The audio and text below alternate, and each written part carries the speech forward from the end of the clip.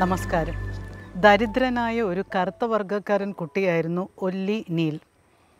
പറയത്തക്ക വിദ്യാഭ്യാസമൊന്നും ഇല്ലാതിരുന്ന കർഷകനായ അവന്റെ അപ്പൻ പതിനാല് മക്കളെ കഷ്ടപ്പെട്ടാണ് വളർത്തിയിരുന്നത്.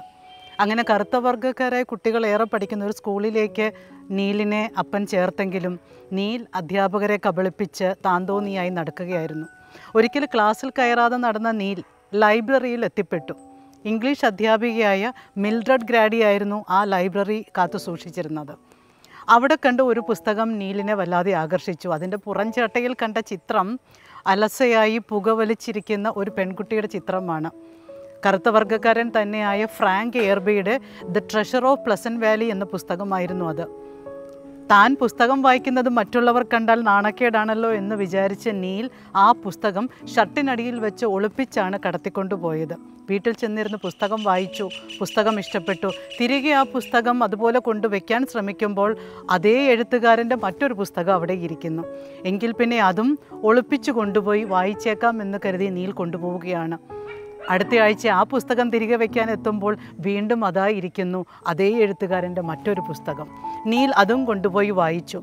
അങ്ങനെ വായനയുടെ രസം പിടിച്ച് നീൽ പതുക്കെ പത്രങ്ങളിലേക്കും മാസികകളിലേക്കും പിന്നീട് കമ്യൂന്റെ വരെ പുസ്തകങ്ങളിലേക്ക് കടന്നു.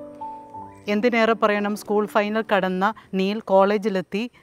ഒരു വക്കീലായി. ആയിരത്തി തൊള്ളായിരത്തി തൊണ്ണൂറ്റി ഒന്നിൽ അർക്കൻസാസിലെ ആദ്യത്തെ കറുത്ത വർഗക്കാരനായ അറ്റോർണിയും പിന്നെ ജഡ്ജിയുമായി മാറി. വർഷങ്ങൾ കഴിഞ്ഞ് സ്കൂളിൽ നടന്ന പൂർവ വിദ്യാർത്ഥികളുടെ ഒരു സമ്മേളനത്തിൽ ഇംഗ്ലീഷ് അധ്യാപികയായ മിൽഡഡ് ഗ്രാഡി ഒരു സംഭവം വെളിപ്പെടുത്തി. അതായത് ഒല്ലി നീൽ വർഷങ്ങൾക്ക് മുൻപ് ആദ്യമായി പുസ്തകം മോഷ്ടിച്ച് കടത്തിക്കൊണ്ട് പോകുന്നത് അവർ കണ്ടിരുന്നു. അവന്റെ ആത്മാഭിമാനം വ്രണപ്പെടുത്താതിരിക്കാൻ വേണ്ടി അവർ നിശബ്ദയായി. പക്ഷേ അവർ അവൻ കൊണ്ടുപോയ ആ എഴുത്തുകാരന്റെ അതേപോലെയുള്ള പുസ്തകങ്ങൾ സ്വന്തം പണം മുടക്കി മൈലുകൾ കാറോടിച്ച് പട്ടണത്തിൽ പോയി വാങ്ങിക്കൊണ്ട് അതേ സ്ഥലത്ത് വയ്ക്കുമായിരുന്നത്രേ.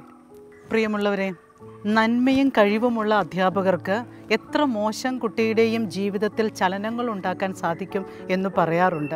അധ്യാപകർക്ക് ആത്മകഥയില്ലെന്നും പറയാറുണ്ട്. കാരണം അവരുടെ ജീവിതം എന്ന് പറയുന്നത് മുൻപിലെത്തുന്ന ഓരോ കുഞ്ഞിന്റെയും ജീവിതമാണ്. നിസ്വാർത്ഥമായ സ്നേഹം കൊടുക്കുന്ന സദാ പ്രകാശിക്കുന്ന വിളക്കുകളാകുന്ന വിശാല മനസ്കരായ അധ്യാപകരേറെ ഉണ്ടാവട്ടെ നമ്മുടെ ചുറ്റുപാടും. ഒരു പുഴുവിനെ കാണുമ്പോൾ അതിൽ നിന്നും പറന്നുയരുന്ന ചിത്രശലഭത്തെ കാണാൻ സാധിക്കുന്ന ഒരു വിത്ത് കാണുമ്പോൾ അതിൽ നിന്നും പടർന്നു പന്തലിക്കുന്ന വൃക്ഷത്തെ കാണുന്ന അധ്യാപകരേറെ ഉണ്ടാവട്ടെ നമുക്ക് ചുറ്റുപാടും.